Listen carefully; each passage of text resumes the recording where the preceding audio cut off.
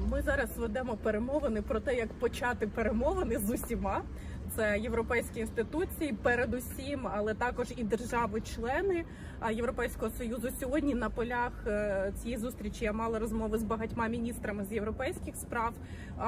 Можу підтвердити кілька речей. Абсолютно більшість країн Європейського союзу впевнена, що перемовини можна почати в 2023 році.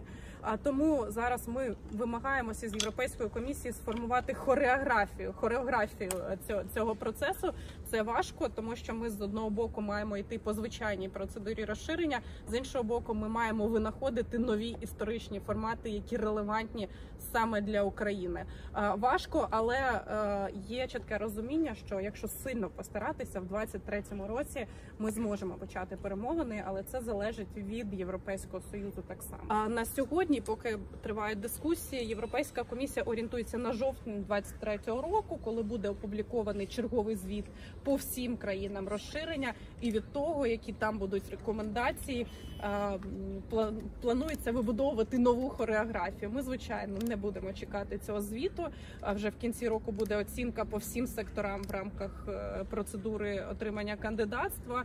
І від цього ми думаємо, що можна вже буде до жовтня більш чітко омальовувати горизонти по початку перемови. Ну, в цій декаді ми точно станемо членом ЄС.